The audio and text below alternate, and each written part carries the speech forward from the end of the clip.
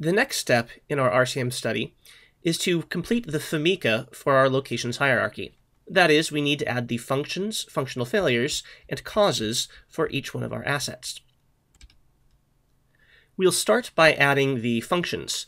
Functions are added to the bottom level of locations in the hierarchy. So in this example, a function could be added to the screw feeder, but not to the extrusion unit. The location must be the lowest level in order to have functions appended to it. To add a function, we select the location, and then we can use the Add Function toolbar button, the Add Resource Function menu option, or we can right-click on the location and select the Add Function option from the context menu. The function will automatically be given an ID consisting of its parent and then dot and then an auto-incremented number. While this ID can be changed by the user, it must be unique. The description, ideally, should be some text that describes the function of the asset.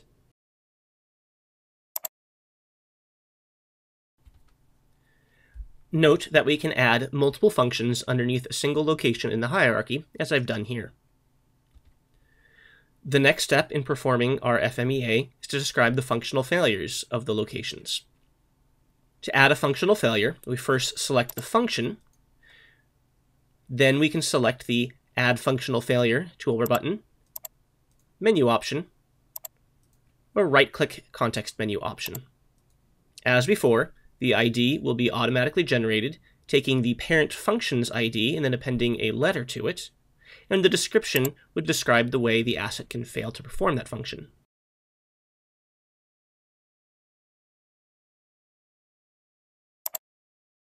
As before, we can add multiple functional failures to a single function. The final step in our FMEA is to create the causes. Causes are added, as before, by selecting the functional failure, then selecting the Add Cause toolbar button, the Add Cause menu option, or again the Add Cause context menu option. The cause properties dialog has a lot more options than either the functions or functional failures or even the locations dialogs. This is where the bulk of the data that's going to be used in our RCM study is entered. On the first tab, the General tab, we again have an ID, which is based off of the parent functional failure ID, a description, and then three other text fields. These other text fields have no impact or bearing on the analysis or the simulation. They're extra information that the user can record. As in a standard FMEA, we will need to describe the effects of the failure mode. The E in FMEA stands for effects. To do this, we select the Effects tab in the Cause Properties dialog. Effects can be added from a list or created new. To add an effect, I simply select the Add button. A list of all existing effects in my project will be shown in the dropdown. Since I have none created, I can select the New button to create a new effect. In the Effect Properties dialog, I would enter an ID, a description, and then also define the severity of this effect. Severities can be defined across four categories as either per occurrence or rates.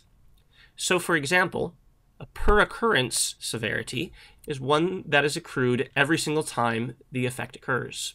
A rate severity is one that is accrued for every hour or every time unit during which the effect occurs. The four categories in which we can assign severities would be cost, safety, operational, and environmental. Cost, of course, is the easiest unit to understand. It's generally dollars, pounds, euros, or whatever your local currency would be. Severities can be a more user-defined scale. It doesn't necessarily represent anything real world, but it could. So for example, safety severity might be the number of injuries or casualties that would occur due to a given effect. Environmental severity could be something like the number of tons of toxic material that would be released if the effect were to occur. For this example, this particular effect only has a cost rate. I'll enter a cost rate of 400. That refers to the cost for every hour that this effect is occurring. I select OK, and the effect is selected from the dropdown. The next thing to do is tell when this effect applies and how likely it is. The first three checkboxes tell whether or not this effect applies in the case of a failure, in the case of planned maintenance, and in the case of inspections. Certain effects, like production losses, are likely to take place during planned maintenance when the plant is shut down. Other effects, such as safety hazards, fires, and explosions, would generally only occur after some hazardous failure. The redundancy factor refers to the beta value in a traditional FMECA, where beta represents the conditional probability that given the failure mode occurs, that the effect occurs as well. So, for example, a redundancy factor of 1 means that when the drive shaft shears, there's a 100% chance of a major loss of production. If we have standby backup systems or redundancies, this probability of the effect may be reduced if the backup systems successfully operate. If we don't know the redundancy factor, RCM cost can calculate it for us. We can enter the number of additional components in a parallel arrangement and the number required to be operating, the fractional downtime of each component, and it will calculate a redundancy factor for us. So suppose there's two additional drive shafts, and of those three, two are required to be operating, and each drive shaft has a 1% fractional downtime. RCM cost will calculate a redundancy factor of 1.99%. I can select OK to apply the effect. Note that an arbitrary number of effects can be assigned to a single cause. Effects can be added through the cause properties dialog, or they can be created separately. We can also create effects by selecting the Add Effect toolbar button, Menu option, or selecting the Effects node from the project hierarchy and selecting Add Effect. Once created, an effect can be applied to multiple different causes. The next tab in the Cause Properties dialog is the Failure tab. This allows us to define how often or how likely the failure is to occur. We have a few different ways of arriving at this based on the sort of information that's available to us. The most direct way would be to choose our failure distribution directly and then enter the distribution parameters. RCM cost supports a number of different mathematical distributions, such as the exponential, various Weibull distributions, normal and log normal. The fixed and buffer distributions are generally not used in RCM cost. These are primarily included for compatibility with the AVSIM module of the availability workbench. So for example, if we know that our asset has a mean time to failure of 8,000 hours exponentially distributed, we can enter that directly. Another method of specifying the failure data would be to use a Weibull dataset. If we are using the Weibull module, we can choose a Weibull dataset from this dropdown right here. The Weibull module is a separate topic, which will be covered in another video. The final method for entering our failure data would be to use the failure distribution wizard. We can access that by selecting the magic wand. The failure distribution wizard allows us to select which parts of the bathtub curve apply to this particular component's failures. Does it experience random failures? Does it experience wear out? Does it experience infant mortality? We simply check the checkboxes for those portions of the curve that apply to this component. Next, we go to each tab and enter some basic data describing each one of those failure modes. So for instance, what is the failure rate for random failures? On the Wearout tab, we would enter the operating age when wearout begins, and about how long after the beginning of wearout will the majority of components have failed. On the Infant Mortality tab, we enter the infant mortality period and the mean failure rate during that infant mortality period. When we select OK, RCM cost will automatically choose the distribution and enter the distribution parameters for us to match the curve we described in the distribution wizard. The remaining options on this tab allow us to enter additional information to describe the failures of this component and how it behaves. The non-operating failure apportionment allows us to tell RCM cost how the failure rate of the component is adjusted when the component is not operating, for instance, if the component is in warm standby when not operating, and failures only occur about half as often when it's in warm standby as they do during operating, we could enter a 50% non-operating failure apportionment, telling RCM cost that the failure rate is reduced by half when it's in standby. The non-operating aging apportionment is similar, but applies to age-based maintenance. So for example, if the maintenance policy is to perform maintenance when the component has 2,000 operating hours of age, if the component is in standby for long periods of time, we may not count those standby hours towards its operating age.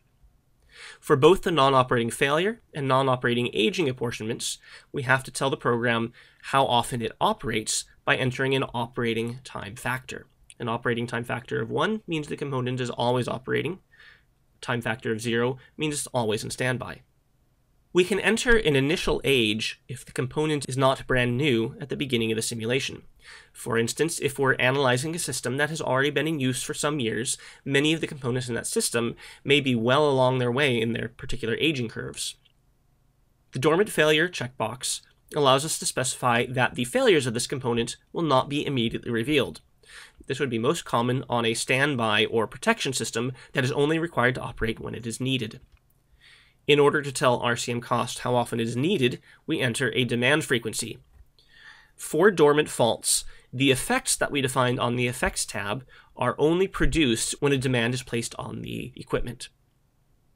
We will come back to the Maintenance, Alarm, Commission, and Redesign tabs in another video when we are discussing how to determine the appropriate maintenance strategy for this component.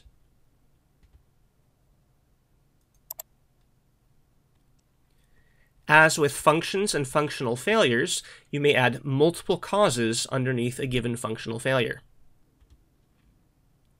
An alternative way of editing data, rather than entering it through the properties dialogs that are opened when I double click on an item, would be through the grid view on the right hand side.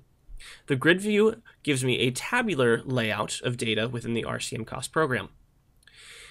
When the grid view is selected from the right hand view mode, the grid toolbar allows me to choose and set various properties for the grid. The leftmost control in the grid toolbar is the grid table selector. This allows me to choose the table of data that I want to display in the grid. For instance, causes, locations, or maintenance tasks when we come back to those. For a given grid table, I will also have various different grid layouts. The grid layouts determine which fields are visible and hidden, and also other options like sorting and filtering. For each grid view, I can also adjust the fields that are displayed using the grid layout options, the filters that are applied to the grid using the grid filter, and the grid sorting options. There is also a find and replace option that allows me to search for and replace the data that can be found in the grid view. Often we will find that we have the same assets that are repeated within a given system. Rather than recreating these within the RCM locations hierarchy, we can use copy and paste to duplicate those assets, since the same asset type will most likely always have the same functions, functional failures, and causes. So for example, I can create another screw feeder by simply selecting the existing one, right-clicking and selecting copy, or using the corresponding toolbar or menu options and then selecting a new parent and selecting paste. A new item will be created using the same existing data that I have. This data could even come from another project file. If I've previously created an RCM study that has the same types of assets that appear in my new RCM study, I might open the project for that previous study that I performed and copy data out of that. I can do that using the library feature by selecting the File, Attach Library menu option. I simply need to browse for my existing project,